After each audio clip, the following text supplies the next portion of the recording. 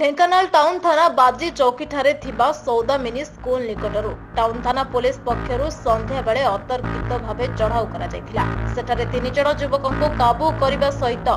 ସେମାନଙ୍କଠାରୁ ଚାଳିଶ gram brown sugar ଏବଂ ବ୍ୟବସାୟ ପାଇଁ ରଖାଯାଇଥିବା କାଗଜପତ୍ର ଅଠର ହଜାର ଟଙ୍କା ଏବଂ ଗୋଟିଏ ବଜାଜ ପଲ୍ସର ଗାଡ଼ି ଜବତ କରିଛି ପୋଲିସ